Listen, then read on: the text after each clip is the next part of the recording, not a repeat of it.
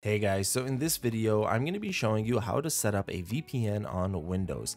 And I'm going to be doing it with three of the top VPNs currently available, in my opinion, ExpressVPN, NordVPN, and Surfshark. But even if you're using a VPN that isn't one of these three, then the steps should still pretty much be the same. And if you do want to find out more about one of these three VPNs, I'll talk about them a little bit more at the end of the video, and there's going to be more useful links and information in the description below. So starting with ExpressVPN, the first thing you want to do is go to the website, click Get ExpressVPN, pick a plan, make an account, and actually get a subscription. Once you do that, you can go to your dashboard over here, your homepage, and it's to say set up your devices. It's to give you a bunch of different options for different devices you can install ExpressVPN on, and you want to click Windows. That'll take you to this page here, and you have two things. You have on the left side your VPN activation code, which we're to need a little bit later, and on the right side, you have the option to actually download the application for Windows. And you're going to want to go ahead and click download. That'll actually download the application on your computer.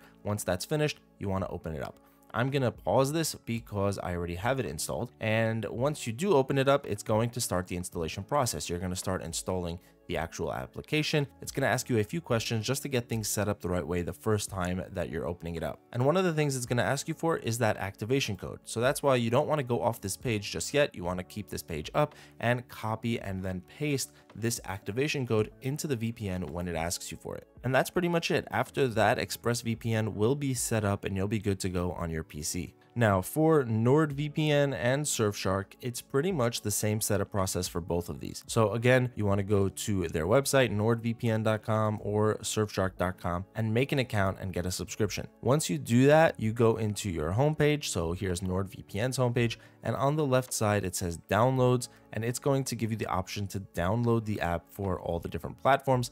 And right there at the top, you have download app you can click on that and it will start the download for the NordVPN application.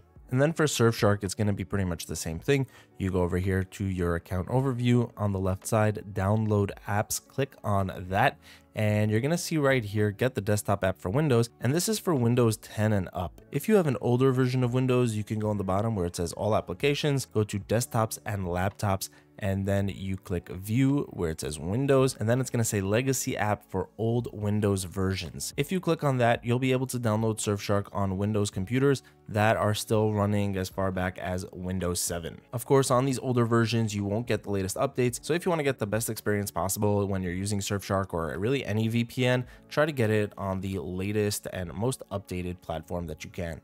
Now with both of these VPNs here, Surfshark and NordVPN, instead of an activation code like we had with ExpressVPN, for pretty much any VPN, when you sign up, you're gonna make an account with a username and password. And with NordVPN and Surfshark, instead of that activation code, you're just going to sign in with your username and password. You'll also have a bunch of questions about setting it up the first time. And then once you do that with NordVPN, this is what the homepage is going to look like. It's pretty much a dashboard of all the different features that NordVPN has. There's a lot going on. Threat Protection Pro, that's like a mini antivirus, file sharing. On the left side, you have a small version of the VPN. If you want to see the full VPN, it's the first option right there. VPN, really the second one after the homepage. And then you'll have the map interface as well. With Surfshark, the main page is going to look like this. You have your locations in the search bar on the left side, and then you have information about your current connection on the right side. So that's all you need to know in order to be able to set up basically any VPN. It'll either be by signing in with your username or password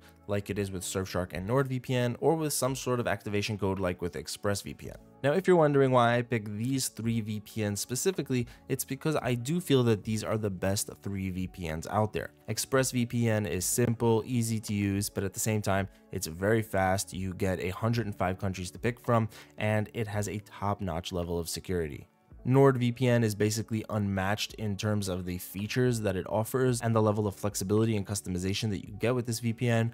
On top of that, it has a mini antivirus here, Threat Protection Pro, secure file transfer, secure remote desktop, and a dark web monitor that checks if you had any data leaks over the internet. And Surfshark is the best budget VPN with a cheap price, but at the same time, a nice amount of features. Not as much as NordVPN, but it does have more than ExpressVPN. And at the same time, you're getting 100 countries to choose from, the WireGuard protocol, which means very fast speeds, and just all around a very solid VPN for the price that you're paying. And if you do want to try out any of these, there will be discount links in the description that will save you some extra money, as well as full reviews that will tell you everything you need to know about getting started with one of these VPNs right here. So that's going to be it for this video, guys. I hope this helped you out. Let me know in the comments below which VPN you decide to go with. Thank you so much for watching. Have an amazing day, and I'll see you in the next one.